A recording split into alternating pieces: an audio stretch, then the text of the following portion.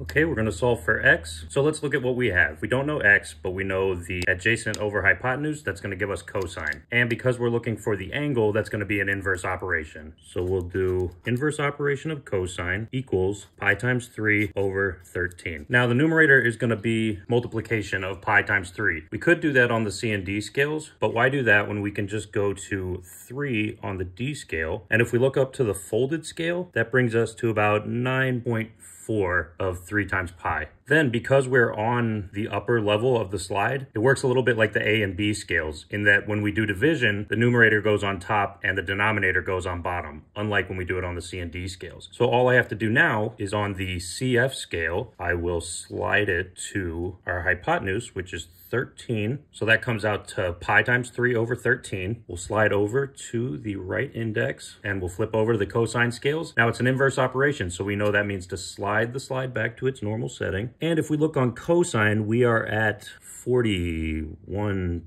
2, 3.5. X equals 43.5. Inverse operation of cosine, pi times 3 divided by 13 equals 43.5 degrees.